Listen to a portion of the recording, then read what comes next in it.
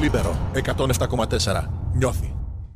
Έχουμε στην ε, γραμμή μας τον προπονητή του ΚΑΟΔ, της ομάδας Δράμας, τον κύριο Μέξα. Coach, καλό μεσημέρι. Καλό μεσημέρι. Γεια σας, καλό μεσημέρι. Είστε καλά; Δόξα τω Θεώ. Καλό είναι το καλοκαίρι, εύκολο είναι, μάλλον δύσκολο είναι. Για όλους ε, και για όλα. Ε, δύσκολο για όλους και για όλα, δυστυχώς. όλα Αλλά επηρεάζονται. πρέπει, πρέπει να προσαρμοστούμε αναγκαστικά, δεν μπορούμε να κάνουμε κάτι άλλο. Βλέπετε να προσαρμόζονται όλες οι ομάδες. Να έχουμε κινήσεις... Ε, νομίζω ότι δικό μας βεληνικούς οι ομάδες φαντάζομαι θα προσαρμοστούν όλες. Φαντάζομαι. Ε, δεν έχω, ξέρετε, ιδιαίτερη ενημέρωση για τι γίνεται σε άλλες Ναι, ομάδες, ναι. αλλά φαντάζομαι θα προσαρμοστούν. Τώρα οι, οι πέντε πρώτες ομάδες, ε, ειδικά Άρης, ε, ΑΕΚ, Παναθηναϊκός και Ολυμπιακός, ο Πάκος ακόμα δεν έχει ξεκινήσει πολύ έντονα την, ε, Μμμ. τη διαδικασία των μεταγραφών. Κινούνται αρκετά έντονα και σε αρκετά έψηλα για τα δεδομένα της εποχής και της κατάστασης μάλλον ε, χρήματα. Ε, αυτό βέβαια είναι θετικό. Θα δούμε. Για τους υπόλοιπους θα δούμε. Τι Ναι, θα μας υπήρχαν, ενημερώσει. υπήρχαν σημάδια από το τέλος της σεζόν και στον Άρη και στην ΑΕΚ ότι κάτι αλλάζει προς το καλύτερο και με τις ιδιοκτησίες. Ε, Είναι δεδομένο. Οι κοινωνικές ιδιοκτησίες ε, είναι από ό,τι φαίνεται άνθρωποι οι οποίοι έχουν οικονομική άνεση και επιφάνεια, ε, έχουν διάθεση να επενδύσουν στις ομάδες τους και αυτό σίγουρα είναι μόνο καλό για το άθλημα. Ναι. Και περιμένουμε τον ΠΑΟΚ όπου ο κύριος Σαββίδης ακόμα δεν έχει κάνει το, το βήμα. Να δούμε αν τα αποφασίσει. Ναι, φα- ναι, αυτό. Απλά ο Πάουκ νομίζω έχει, έχει και την εμπειρία και την τεχνογνωσία όλων και των ανθρώπων όλα αυτά τα χρόνια Μμμ. ε, που πάλι θεωρώ ότι θα φτιάξει μια ομάδα μπορεί λίγο φτηνότερη, σίγουρα φτηνότερη από τις άλλες ομάδες από ό,τι φαίνεται μέχρι τώρα Μμμ. αλλά σίγουρα πάλι ανταγωνιστική γιατί ξέρετε και για τους παίχτες το κίνητρο του EuroCup είναι σημαντικό Ναι. το να έρθουν να παίξουν έστω και με λίγο λιγότερα λεφτά από ό,τι πιθανόν να φτάνουν σε κάποιες άλλες ομάδες αλλά να έχουν την προοπτική αυτή. Μάλιστα. Σας κάνει εντύπωση το γεγονός ότι ο ΠΑΟΚ επιλέγει ως πρώτη του επιλογή, έστω και χρονικά όσον από το timing, τον ε, Μάρκοβιτς. Δηλαδή κάνει μια, ε, γρήγορα σχετικά μια κίνηση με τον ε, Μάρκοβιτς, τον οποίο ανακοίνωσε σήμερα για δύο χρόνια. Ναι. Ε, κοίταξε, εντύπωση δεν νομίζω ότι μου κάνει. Γενικά ο Πάκος έχει δείξει τα τελευταία χρόνια ότι κοιτάει παιδιά από το ελληνικό πρωτάθλημα τα οποία έχουν ανταποκριθεί στις απαιτήσεις του πρωταθλήματος Μμμ. και είναι πιθανόν έτοιμοι για να κάνουν το επόμενο βήμα ε, όπως είναι ο ΠΑΟΚ, φεύγοντας από μια ομάδα όπως ήταν η Τράμα ή όπως είναι η Ελευσίνα, ήταν η Ελευσίνα την περσινή χρονιά. Ε, και είναι κάτι που το κάνει αρκετά χρόνια νομίζω, τις περισσότερες φορές με επιτυχία. Ε, ας ελπίσουμε και για τους δύο, και για το παιδί και για τον ΠΑΟΚ να είναι και αυτή η συμφωνία και η συνεργασία να είναι πετυχημένη. Τι πιστεύετε μπορεί να περιμένει ο ΠΑΟΚ από τον ε, αθλητή συγκεκριμένο, τον ε, Μάρκοβιτς; Ε, κοιτάξτε, ο Νίκολα είναι ένα παιδί το οποίο νομίζω ότι το πιο σημαντικό του κομμάτι έχει να κάνει ότι καταλαβαίνει πολύ καλά το παιχνίδι. Και για την ομάδα του ΠΑΟΚ νομίζω και τον τρόπο που παίζει ο ΠΑΟΚ αυτό είναι σημαντικό.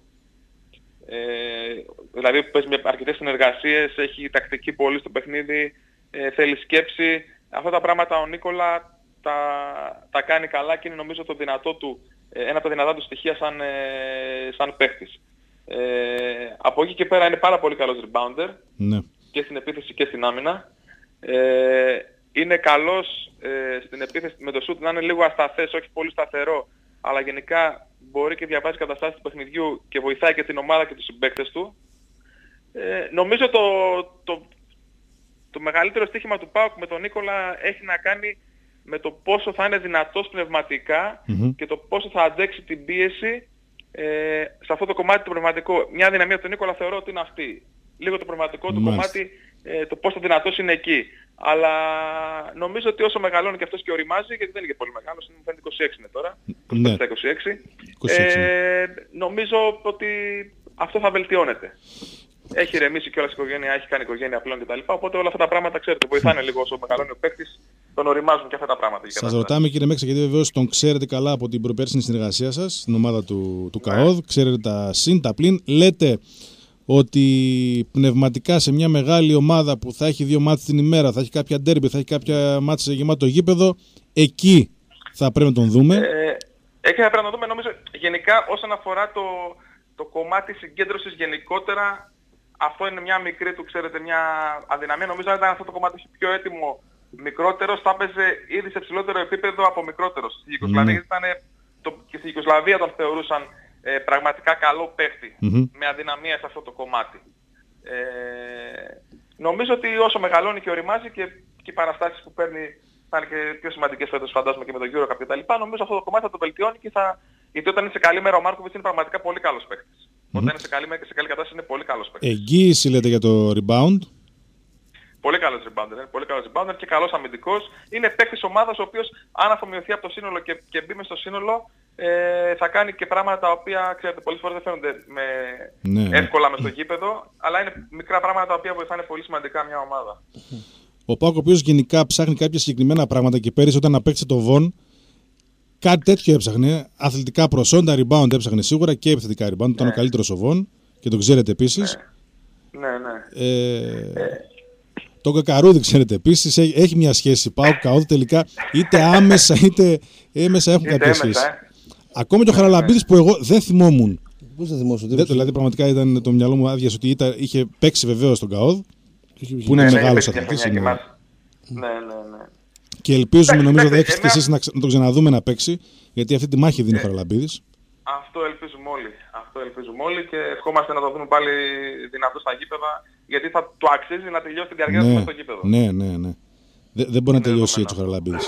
Δεν γίνεται. Όχι, όχι. Από εσάς τι περιμένουμε από τον ΚΑΟΔ. Από τον ΚΑΟΔ προφανώς περιμένουμε να ετοιμάσει τους επόμενους παίκτες του Άρη και του ΠΑΟΚ, ε. Όχι, όχι. Και λίγο, και λίγο όχι, δεν είναι στόχος αυτός. Δεν νομίζω να είναι στόχος αυτός. Εντάξει, εντάξει. Πλάκα κάνουμε τώρα, εντάξει. ε, πλάκα κάνουμε λίγο.